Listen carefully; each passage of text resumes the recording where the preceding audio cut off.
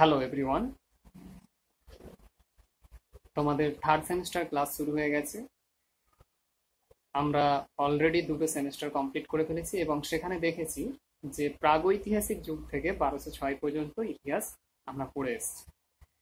এরপরে যেটা আমাদের পড়তে হবে, সেটা হচ্ছে বারোশো ছয় থেকে সতেরোশো সাত। অর্থাৎ এন্টায়ার সুলতানি সাম্রাজ্য এবং তার সঙ্গে ঔরঙ্গজেবের শেষ পর্যন্ত মুঘল সাম্রাজ্য। এখানে একটা জিনিস ভাবতে হবে আমাদের, যে বারোশো ছয় থেকে একটা নতুন যুগের সূচনা হচ্ছে, যেটাকে আমরা ভারত ইতিহাসে মধ্যযুগ হিসাবে জানি। এর আগে আমরা জানি ভারতবর্ষে প্রাচীন যুগ। প্রশ্ন হলো, হঠাৎ করে কেন এই সময়টাকে আমরা মধ্যযুগ হিসাবে চিহ্নিত করলাম? শুধুমাত্র কুতুবুদ্দিন আইবক এলেন আর সুলতানি সাম্রাজ্যের ভিত্তিপ্রস্তর স্থাপন করে দিলেন। একটা রাজবংশের পরিবর্তন হয়ে গেল। আর এটাকে আমরা মধ্যযুগ হিসাবে চিহ্নিত করে দিলাম, তা তো নয়। এর সঙ্গে রয়েছে আরও অনেক নানান পরিবর্তন। সেগুলোকে আমরা কয়েকটা পার্টে আলোচনা করে নিতে পারি। যেমন এর রাজনৈতিক দিক, সামাজিক দিক, অর্থনৈতিক দিক, সাংস্কৃতিক দিক এবং ধর্মীয় প্রথমেই আমরা একটু দেখে নিই যে সুলতানি যুগে বা তার আগে ভারতবর্ষের পরিস্থিতিটা কেমন ছিল বারোশো ছয়ের আগে? কারণ আমরা অলরেডি সেকেন্ড সেমিস্টারে সুলতান মামুদ এবং মোহাম্মদ ঘুরির ভারত আক্রমণের ইতিহাস পড়ে এসেছি, তরাইনের যুদ্ধ সেখানে একটা জিনিস আমরা লক্ষ্য করেছি ভারতবর্ষের প্রেক্ষাপটে যে ভারতবর্ষে সেই অর্থে কোনো বৃহৎ সাম্রাজ্যের অস্তিত্ব ছিল না। ভারতবর্ষ কিসে পরিণত হয়েছিল? কয়েকটা টুকরো টুকরো ছোট ছোট আঞ্চলিক রাজ্য। এরকম পরিস্থিতিতে এই আঞ্চলিক রাজ্যগুলো প্রায় নিজেদের মধ্যে যুদ্ধ বিগ্রহে লিপ্ত থাকতো। সেই ইতিহাস আমরা সেকেন্ড সেমিস্টারে দেখেছি যে ত্রিমুখী লড়াইয়ের কনটেক্সটে এবং এই লড়াইটা এতটাই তিক্ত হয়েছিল যে যখন মামুদ বা গজনি তারা ভারত আক্রমণ করলেন, মোহাম্মদ ঘুরে, মামুদ গজনি, তখন কিন্তু ভারতবর্ষের এই ছোট ছোট রাজ্যগুলো ঐক্যবদ্ধভাবে প্রতিরোধ আন্দোলন গড়ে তুলতে পারেনি। তারা কিন্তু হেরে গিয়েছিল যুদ্ধে। ফলত বৈদেশিক শক্তির পক্ষে অনেক সহজ হয়ে যায় আমাদের দেশকে দখল করা। এই ঘটনার ফলশ্রুতির মধ্যে দিয়ে বারোশো ছয় খ্রিস্টাব্দে দিল্লিতে কুতুবুদ্দিন আইবকের হাত ধরে সুলতানি সাম্রাজ্যের গোড়াপত্তন ঘটছে প্রশ্ন হলো, মধ্যযুগ কেন আমরা বলব? বা একটা যুগ থেকে আর একটা যুগে উত্তরণ আমরা কেন বলছি? সুতরাং আমাদের এখানে দেখতে হবে যে পরিবর্তনটা কি হয়ে গেল। তাহলে আমরা প্রথমে রাজনৈতিক প্রেক্ষাপটের দিকে দেখি। বারোশো ছয়ের আগে আমি একটু আগে যেটা বললাম যে ভারতবর্ষ অনেক টুকরো টুকরো আঞ্চলিক রাজ্যে বিভক্ত ছিল। কিন্তু বারোশো ছয়ের পর থেকে আমরা দেখব ভারতবর্ষে এক দিল্লি সুলতানিদের নেতৃত্বে, সুলতানি আমলে, একটা ঐক্যবদ্ধ সাম্রাজ্যে পরিণত হচ্ছে। এবং সুলতানরা হয়ে উঠছেন ধীরে ধীরে সমগ্র ভারতবর্ষের একচ্ছত্র অধিপতি। যে ভারত সাম্রাজ্য অশোক গড়ে তুলেছিলেন, সমুদ্রগুপ্ত পার্টলি কিছুটা গড়ে তুলেছিলেন পরবর্তীকালে সেই আবার সাম্রাজ্যের নিদর্শন আমরা পাচ্ছি সুলতানদের আমল। নাম্বার ওয়ান নাম্বার টু সমাজে একটা মারাত্মক পরিবর্তন ঘটেছে। কি পরিবর্তন? না, আমরা জেনেছি আগে যে ভারতীয় সমাজ ব্যবস্থা ছিল বর্ণ বিভাজিত সমাজ ব্যবস্থা সেখানে জাতপাতের একটা ব্যাপার কার্যকরী ছিল। ব্রাহ্মণ, ক্ষত্রিয়, বৈশ্য, শূদ্র। এই পরিস্থিতিটা এতটাই মারাত্মক লেভেলের ছিল এবং তার পাশাপাশি ছিল অস্পৃশ্যতার একটা ব্যাপার। এখানে অন্য ধরনের একটা সামাজিক কাঠামো গড়ে উঠেছিল যুগ যুগ ধরে, প্রতিষ্ঠিত হয়েছিল কিন্তু হঠাৎ করে তুর্কিদের আসার ফলে ভারতীয় সমাজ ব্যবস্থা একটা অনুরণন সৃষ্টি হয়। তাদের প্রচলিত ধ্যান ধারণার সঙ্গে তুর্কিদের সামাজিক কাঠামোর একটা পার্থক্য লক্ষ্য করা যায়।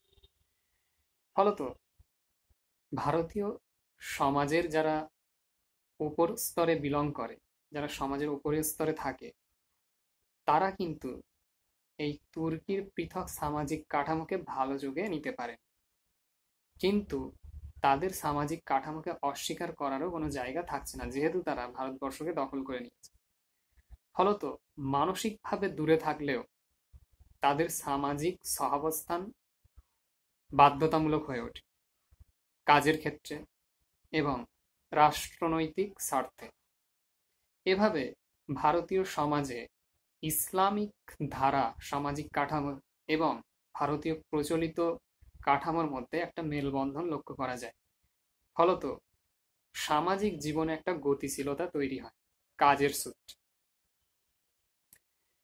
এর পাশাপাশি আমরা যদি অর্থনৈতিক ক্ষেত্রে দেখি, সেখানে দেখব একটা হিউজ পরিবর্তন সংগঠিত হয়ে যাচ্ছে। এই অর্থনৈতিক দিকটা একটু বিস্তারিতভাবে আমাদের দেখতে হবে। আমি একটু আগেই বললাম যে ভারতের ছোট ছোট আঞ্চলিক রাজ্য ছিল। এই আঞ্চলিক রাজ্যগুলির নিজস্ব আইন কানুন ছিল, বিচার ব্যবস্থা ছিল এবং প্রশাসনিক কাঠামো ছিল। তার পাশাপাশি সার্বিকভাবে তারা এক একটা সার্বভৌম কর্তৃত্ব ভোগ করত। ফলত যখন অর্থনৈতিক আদান প্রদান ঘটত, ফর এক্সাম্পল, বাংলার পাল রাজাদের সঙ্গে দাক্ষিণাত্যের রাষ্ট্রকূটদের যখন ব্যবসা বাণিজ্য সংগঠিত হতো, তখন কিন্তু তাদেরকে এক ধরনের সমস্যা সম্মুখীন হতে হতো। কীরকম? বাংলার ধরো দু বস্তা চাল তারা দক্ষিণ ভারতে বিক্রি করতে যাবে। বাংলার দু বস্তা চালের দাম বাংলাতে যা পাওয়ার কথা, তারা কিন্তু দক্ষিণ ভারতে তা পাচ্ছে না। তার কারণ, বাংলার মূল্যমান মুদ্রানীতি, ওজন ব্যবস্থার সঙ্গে দক্ষিণ ভারতের মূল্যবান মুদ্রানীতি ওজন ব্যবস্থার একটা পার্থক্য থাকবে, এটাই স্বাভাবিক। যেহেতু তারা একটা সার্বভৌম রাজ্য।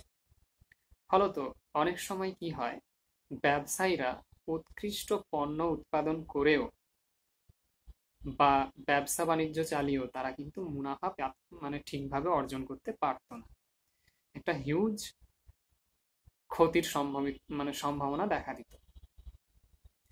পাশাপাশি এক রাজ্যের সঙ্গে আর এক রাজ্যের যুদ্ধ বিগ্রহ চলাকালীন ব্যবসা বাণিজ্য প্রায় বন্ধ হয়ে যেত। অনেক সময় দেখা গেছে যে ব্যবসা বাণিজ্য সচল থাকতো, কিন্তু অনেক ক্ষেত্রে বন্ধ হয়ে যেত। এরকম পরিস্থিতিতে যখন আঞ্চলিক রাজ্যগুলির মধ্যে সম্পর্ক খারাপ, তখন অঞ্চল ভিত্তিক অর্থনীতি গড়ে ওঠাটাই স্বাভাবিক। অঞ্চল ভিত্তিক অর্থনীতিটা কি? ধরো, উলুবেড়িয়া এবং বাগনান তার সঙ্গে সামপুর, আমতা। এই চারটি অঞ্চল উলুবেড়িয়ার পণ্য উলুবেড়িয়াতেই বিক্রি হবে, বাগনানের পণ্য বাগনানেই বিক্রি হবে। এই সিস্টেমটা গড়ে উঠতে লাগল। যে হিউজ সম্ভাবনা ছিল যে আমতাই উৎপাদিত পণ্য উলুবেড়িয়ার মার্কেটে বিক্রি করতে পারলে সেই ব্যবসায়ীর লাভের একটা সম্ভাবনা ছিল, সেটা কিন্তু নষ্ট হয়ে গিয়েছিল। ফলত ব্যবসা বাণিজ্য একটা হিউজ লোকসানের সাথে সাথে কি দেখা দিল? একটা স্থবিরতা দেখা দিল অঞ্চল ভিত্তিক বাণিজ্য। এর সঙ্গে ব্যবসা বাণিজ্য না চললে অবশ্যম্ভাবীভাবে শহরগুলো আস্তে আস্তে স্থিমিত হয়ে পড়ে ঝিমিয়ে পড়তে থাকে। সাপোজ উলুগড়িয়াতে যদি ব্যবসা বাণিজ্য বন্ধ হয়ে যায় উলুগড়িয়া নগরের চরিত্রটা কিন্তু আস্তে আস্তে হারিয়ে যায়। এইভাবে আমরা কি দেখি? যে প্রি সুলতানেত এরাতে অর্থাৎ প্রাক সুলতানি যুগে আমরা নগরায়নের একটা স্থিমিত প্রক্রিয়া লক্ষ্য করা যায়। যদিও ব্যতিক্রম চোখে পড়ে, কিছু কিছু জায়গায় ওই হাট মণ্ডপিকা নামে কিছু কিছু ব্যবসা কেন্দ্র সচল ছিল, তবে সেটা একান্তই প্রয়োজন ভিত্তিক যে হিউজ নগরায়ন আমরা দ্বিতীয় নগরায়ন বা হরপ্পার ক্ষেত্রে আমরা দেখতে পাই, সেই দ্বিতীয় নগরায়নের মতো নগরায়ন আমরা কিন্তু সুলতানি যুগের আগে এবং গুপ্ত যুগের পরে আমরা দেখতে পাই না। ফলত অর্থনৈতিকভাবে একটা স্থবিরতা লক্ষ্য করা যায় প্রাক সুলতানি যুগে। তাহলে পরিবর্তনটা কি ঘটে যাচ্ছে? পরিবর্তন যেটা ঘটে যাচ্ছে সেটা হলো সুলতানরা আসার ফলে তারা যখন এই আঞ্চলিক রাজ্যগুলোকে জয় করে একটা সাম্রাজ্যের ছত্রছায়ায় নিয়ে আসে, তখন অবশ্যম্ভাবীভাবে কি দেখা দিচ্ছে? একই ধরনের সিস্টেম প্রশাসনিক কাঠামো, আইন কানুন সুলতানরা লাগু করার চেষ্টা করছে দেশের এক প্রান্ত থেকে অন্য প্রান্তে। ফলত কি হচ্ছে? একই রকমের ব্যবসা বাণিজ্যিক সিস্টেম চালু হচ্ছে, যার ফলে বাংলার পণ্য সহজেই গুজরাটে বিক্রি করা সম্ভব হচ্ছে, অথচ সেই চাষি বা সেই বণিক একই মূল্যের যোগান পাচ্ছে। এটা ছিল একটা হিউজ পরিবর্তন, যে পরিবর্তনের ফলে ব্যবসা বাণিজ্য অনেক সচল হয়। পাশাপাশি আমরা বৈদেশিক বাণিজ্যের একটা প্রবণতা লক্ষ্য করি। যেহেতু সুলতানরা এসেছিল বিদেশ থেকে, ফলত তাদের দেশের সঙ্গে এখানকার একটা যোগাযোগ তারা তৈরি করে। সেখানকার পণ্য এখানে আমদানি এবং এখানের, এখানকার পণ্য সেখানে রপ্তানি, মধ্য এশিয়ায় রপ্তানি, পশ্চিম এশিয়ার রপ্তানি কিন্তু সচল ছিল। এই অর্থনৈতিক সচলতা হওয়ার দরুন সুলতানদের রাজকোষে প্রভূত পরিমাণে যেমন অর্থ সঞ্চার ঘটে, তেমনি সাধারণ মানুষের জীবনেরও একটা মৌলিক পরিবর্তন ঘটে যায়। আগে যে সমস্ত বণিক, কৃষক, কারিগররা, তারা কাজ পেত না, ঠিকঠাকভাবে পণ্য উৎপাদন করেও পণ্যের মূল্য পেত না। এই সচল বাণিজ্যের কারণে তারা কিন্তু উৎপাদন ব্যবস্থাকে কন্টিনিউ করতে পেরেছিল। তার পাশাপাশি তাদের হাতে কিন্তু জীবন ধারণের একটা সংস্থান চলে এসেছিল। ফলত জীবনযাত্রার তাদের মান উন্নয়ন ঘটে যায়। তাহলে শুধুমাত্র সুলতানরা এলেন আর মধ্যযুগের সূচনা হয়ে গেল তা কিন্তু নয়। সুলতানরা আসার সাথে সাথে সমাজের যে অর্থনৈতিক ক্ষেত্র, সেই অর্থনৈতিক ক্ষেত্রটার একটা বিরাট পরিবর্তন ঘটে যায় বারোশো ছয় খ্রিস্টাব্দের পর থেকে। ঐতিহাসিকরা এই সময়টাকে অত্যন্ত গুরুত্ব দিয়ে থাকেন এবং ভারতবর্ষে প্রাচীন যুগ বা আদি মধ্যযুগ থেকে মধ্যযুগে উত্তরণের যে বিষয়টা, সেই বিষয়টা দিক নির্ণয়ের রূপে বারোশো ছয় খ্রিস্টাব্দটাকে চিহ্নিত করে থাকে তাহলে অর্থনৈতিক ক্ষেত্রে এই পরিবর্তন, যেমন সাধারণ মানুষের হাতে টাকা এনে দিল, টাকা থাকার ফলে তাদের ক্রয় ক্ষমতা বাড়লো, আর ক্রয় ক্ষমতা বাড়ার ফলে সমাজে আর্থিক সচলতা বৃদ্ধি পায়। জীবন ধারণের মান উন্নয়ন ঘটে গেল। এর পাশাপাশি আমরা যদি সাংস্কৃতিক দিকে লক্ষ্য করে থাকি, সেখানে আমরা কি দেখব? সেখানে দেখব যে এতদিন পর্যন্ত ভারতীয়রা জানত যে ভারতবর্ষ হচ্ছে শ্রেষ্ঠ সভ্যতার ধারক এবং বাহক। তাদের প্রচলিত রীতিনীতি, সংস্কৃতি হচ্ছে পৃথিবীর শ্রেষ্ঠ। এবং তারা বিশেষত সমুদ্রে যেতে ভয় পেত। তারা নিজেদেরকে শ্রেষ্ঠ বলে প্রমাণ করার জন্য তারা বহির্জগৎ থেকে নিজেদেরকে বিচ্ছিন্ন রাখার একটা তাগিদ অনুভব করত এবং নিজেদের সংস্কৃতিকে আঁকড়ে ধরে থাকত, ধরে রেখেও ছিল। কিন্তু সুলতানরা আসার পর তাদের যে চিন্তাধারা, তাদের সংস্কৃতি, তাদের সঙ্গে পরিচয় হওয়ার পর তাদের ভারতীয় পণ্ডিতবর্গ এবং সভ্যতার যারা ধারক ও বাহক, তারা তাদের সীমাবদ্ধতাগুলো রিয়ালাইজ করতে লাগে ইসলামিক একেশ্বরবাদী ধারণা এবং সাম্যবাদের ধারণা, যেটা কিনা ভারতবর্ষের সাধারণ মানুষের কাছে একটা নতুন বিষয় রূপে প্রতিভাত হল। যে ভারতবর্ষের অস্পৃশ্যরা, শূদ্ররা সমাজের উপযুক্ত মর্যাদা থেকে বঞ্চিত হয়েছিল, তারা দেখল যে সুলতানি বা তাদের সংস্কৃতিতে উচ্চ নিচ্চ ভেদাভেদটা অতটাও প্রখর নয়, যতটা কিনা আমাদের দেশের ব্রাহ্মণ্য ধর্মের বর্ণ ব্যবস্থায়। ফলত এই পৃথক সংস্কৃতির সংস্পর্শে আসার ফলে আমরা কি দেখছি? সমাজে একটা গতিশীলতা লক্ষ্য করি। যে সমাজে ভেদাভেদ একটা সময় প্রখর আকার ধারণ করেছে, সেখানে একটা সময় দেখা গেছে যে উচ্চ বর্ণের মানুষ নিম্ন বর্ণের মানুষের থেকে সামাজিক দূরত্ব বজায় রেখে চলত। তাদের শরীরে ছোঁয়া লেগে গেলে তারা আগে গিয়ে নদীতে ঝাঁপ দিয়ে নিজেদেরকে পরিশুদ্ধ করত। পরবর্তীকালে সেই কি দেখা যাচ্ছে? সুলতানরা আসার পর কর্মসূত্রে হোক, রাষ্ট্রনৈতিক প্রেসারে হোক, তারা কিন্তু এক জায়গায় কিছু ক্ষেত্রে হলেও কাজ করতে বাধ্য হচ্ছে। ফলত কি হচ্ছে? সমাজে এক ধরনের আদান প্রদান ঘটে যাচ্ছে। এর পাশাপাশি সুলতানি সাম্রাজ্য সম্রাটদের হাত ধরে, সুলতানদের হাত ধরে যখন ইসলামিক সংস্কৃতি এদেশে প্রবেশ করল, তখন ইসলামের একটা পৃথক চিন্তাধারা, সেটা হলো অতীন্দ্রিয়বাদী চিন্তাধারা, যেটি পরবর্তীকালে সুফিবাদ রূপে আত্মপ্রকাশ করে। সেখানে দেখা যাচ্ছে যে কোনো নিম্ন উচ্চ ভেদাভেদ থাকছে না। এই চিন্তাধারায় কিন্তু সাধারণ ভারতবাসী খুব গভীরভাবে প্রভাবিত হয়েছিল। এবং এই প্রভাবিত হওয়ার ঘটনা এবং সুফিবাদের প্রতি আকৃষ্ট হওয়া, তার সাথে সাথে হিন্দু ধর্মের মধ্যে কিছু নিম্নবর্গের মানুষ হিন্দু গোড়ামির বিরোধিতা করে এক পৃথক ধরনের আন্দোলন সৃষ্টি করে, যেটা পরবর্তীকালে আমরা ভক্তিবাদ এবং সুফিবাদী আন্দোলন নামে পরিচিত হয়েছি। সেই আন্দোলন কিন্তু জোরদার হয়ে ওঠে। ফলত সাংস্কৃতিক জগতে একটা আমূল পরিবর্তন ঘটে যায়, যেটা কিনা হাজার হাজার বছর ধরে চলে আসছিল। স্ট্যাগনেট স্ট্যাটিক সিস্টেম স্থবির চিন্তাধারা। সেই চিন্তাধারায় কিন্তু কুঠারাঘাত এনে দেয় সুলতানদের চিন্তাধারা।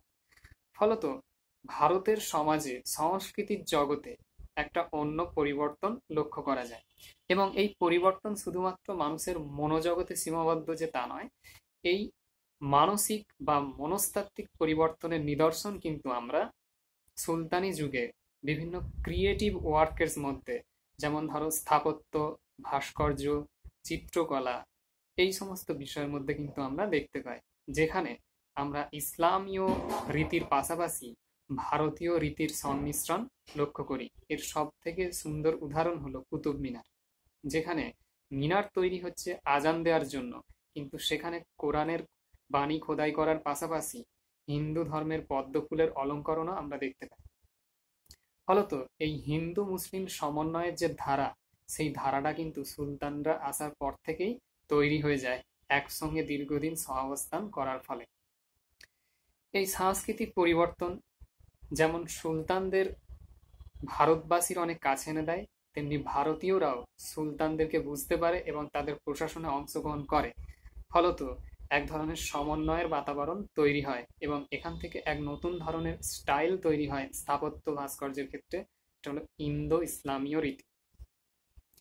এর পাশাপাশি আমরা যদি ধর্মজগতের পরিবর্তনটা দেখতে পাই, সাংস্কৃতিক পরিবর্তনের মতনই অনেকটা ধর্মীয় ক্ষেত্রেও পরিবর্তন ঘটে যায়। আমি একটু আগেই সুফিবাদ এবং ভক্তিবাদের কথা বলেছি যে ধর্মের চিরাচরিত আচরণ, আচার আচরণ, এগুলো বাদ দিয়ে শুধুমাত্র ঈশ্বরের আরাধনা এবং ভক্তি, অন্তরের অন্তঃস্থল থেকে ঈশ্বরের ভক্তি এবং তাকে নিজের করে, নিজের মতো করে উপাসনা করা এই চিন্তা চেতনাটা কিন্তু আমাদের ভারতবর্ষে অনেক বেশি করে ছড়িয়ে পড়তে থাকে। যদিও ভারতে চিন্তা চেতনার জগতে অনেক আগে থেকেই আমরা দেখেছি যে এই একান্তিক ভক্তির মাধ্যমে ঈশ্বরের আরাধনা শুরু হয়ে যায়। আমরা জানি শঙ্করাচার্যের কথা। কিন্তু সুলতানরা আসার ফলে সুফিবাদের প্রভাবে ভক্তিবাদী আন্দোলনটা অনেক বেশি জোরদার হয়ে ওঠে। পাশাপাশি ধর্মের ক্ষেত্রে সহাবস্থান লক্ষ্য করা যায় এবং হিন্দু ধর্মের যে কঠোরতা, সেটা অনেক বেশি করে শিথিলতা অবলম্বন করতে থাকে।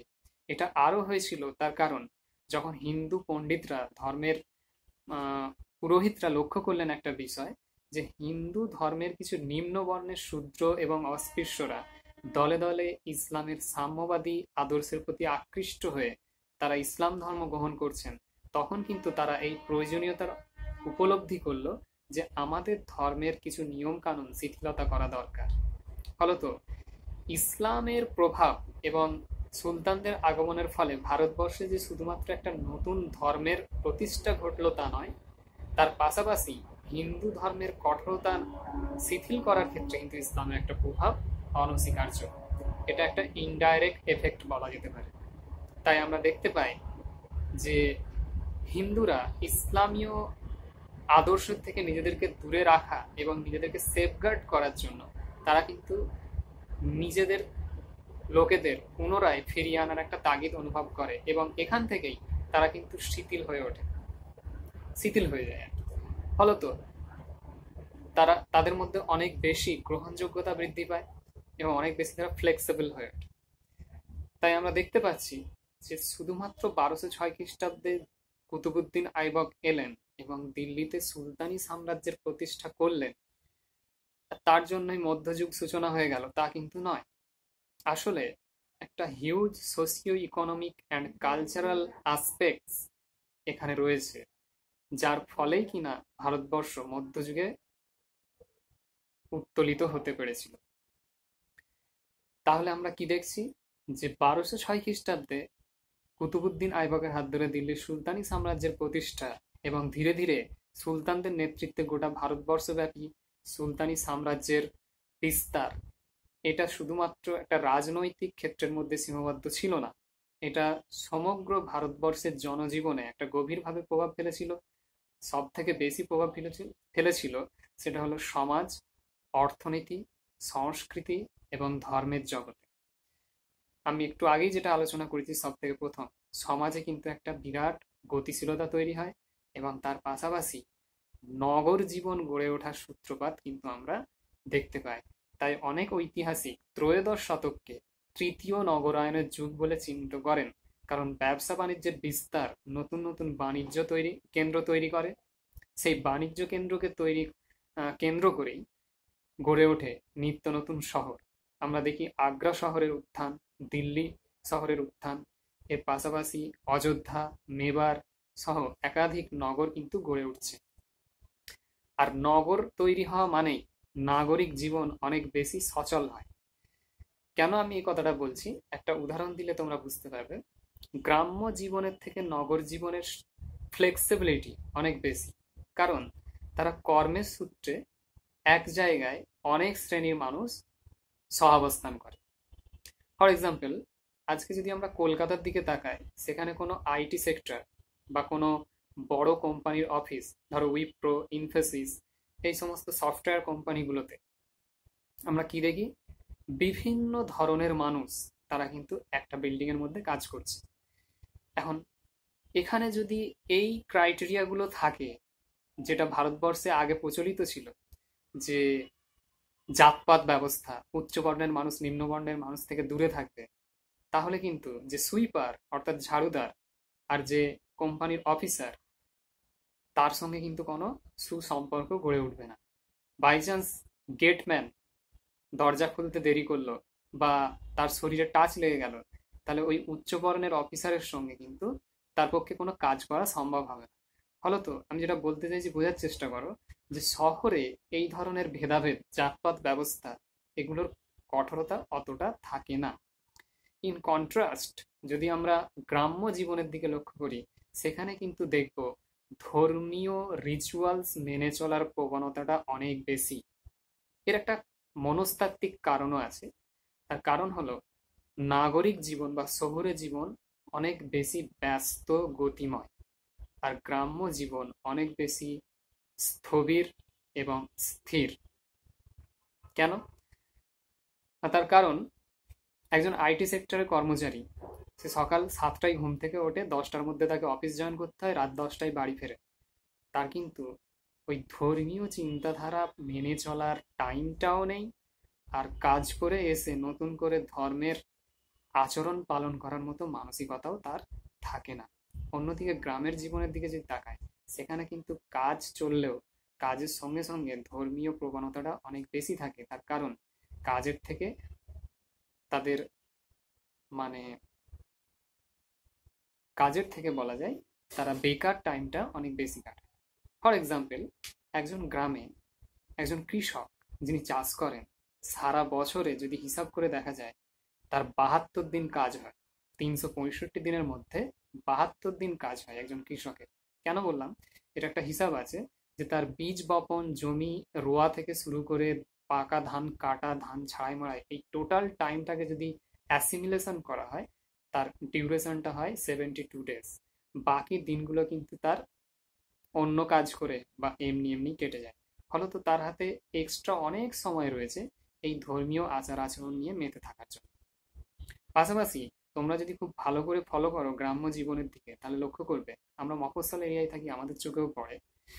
কি দেখা যায়? যে একজন মানুষ ঘুম থেকে ওঠেই প্রায় আটটা, নটা এবং ওঠার পর তার ব্রাশ করার টাইমটা সে যখন ব্রাশ করে, প্রায় আধ ঘণ্টা থেকে এক ঘণ্টা ব্রাশ করে এবং ব্রাশ করতে করতে তার মর্নিং ওয়াক হয়, সে গোটা পাড়া ঘুরে ফেলে এটা গেল তার আড্ডার টাইম তারপরে আরও যদি দেখা যায় যে সে গোসল করতে যায়, অর্থাৎ স্নান করতে যায় যখন, তখন দেখা যায় স্নানের ঘাটেও তার এক ঘণ্টা আড্ডা চলে এবং বিকালবেলা সে যখন চা খেতে চায়ের দোকানে যায়, সেখানে তার আলোচনা বা আড্ডা টাইমটা হয়ে যায় আরও বেশি। সেখানে সে রাষ্ট্রপতি থেকে প্রধানমন্ত্রী, সমস্ত কিছুর আলোচনা সে নিয়ে চলে আসে। এতটা টাইম তার হাতে থাকে, কারণ তার হাতে অন্য কোনো কাজ নেই। ফলত অন্য বিষয় নিয়ে, কাজ ছাড়া অন্য বিষয় নিয়ে সময় কাটানোর মতো টাইম কিন্তু গ্রাম্য জীবনে অনেক বেশি অনেক বেশি পরিসরে থাকে। ফলত ধর্মীয় চিন্তাভাবনা, ধর্মীয় আচার আচরণ পালন করার মতো মানসিকতাও তাদের কিন্তু তৈরি হয়, যেটা শহুরে নাগরিক জীবনে ইচ্ছা থাকলেও অনেক সময় হয়ে ওঠা বা হয়ে উঠতে পারে না। ফলত আমরা আবার যদি এবার সুলতানি যুগের দিকে তাকাই, তাহলে আমরা কি দেখব? যে ত্রয়োদশ শতকে একটা নগরায়নের প্রসেস তৈরি হয় আরবানাইজেশন গড়ে ওঠে, গড়ে উঠতে থাকে। এই আরবানাইজড সিভিলাইজড সোসাইটিতে আমরা দেখছি যে এই ধর্মীয় রিচুয়ালস আচার, আচরণ পালন করার মতো সময় বা মানসিকতা তাদের মধ্যে আমরা দেখতে পাচ্ছি না। কেন পাচ্ছি না?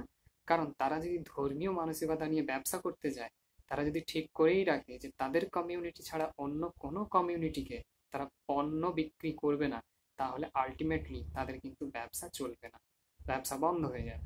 ফলত তাদের নিজেদের অর্থনৈতিক স্বার্থে, নিজেদের জীবনের বাঁচার স্বার্থে তাদেরকে কিন্তু ফ্লেক্সিবল হতে হয়েছিল।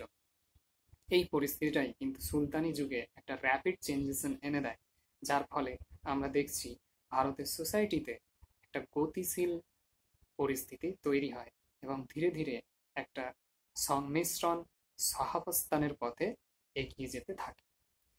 তাহলে বারোশো ছয় খ্রিস্টাব্দ কেন গুরুত্বপূর্ণ?